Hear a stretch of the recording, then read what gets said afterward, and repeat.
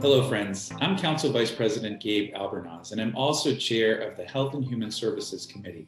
November is National Diabetes Awareness Month, a time when communities across the country bring attention to this chronic yet manageable disease. Diabetes places people at risk for nerve damage, cardiovascular disease, foot and limb injuries, vision problems, and other complications that arise from having uncontrolled blood sugar. According to the CDC, we have learned that diabetes raises a person's risk of developing serious COVID 19 symptoms. That's why understanding diabetes and how to manage it is more important than ever. Fortunately, Montgomery County offers useful resources and a lot of community information that you can find at infomontgomery.org.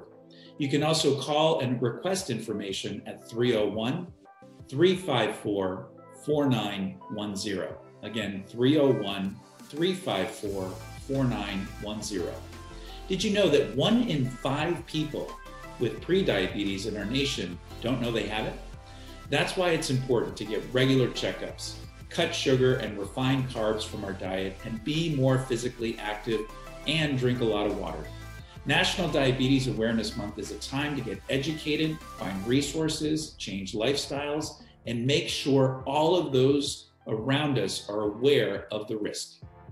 And for all of you already living with diabetes, it's a chance to tell your stories and bring attention to the importance of managing diabetes and living a full life. Together, I'm sure we can help address this chronic disease. Thank you so much.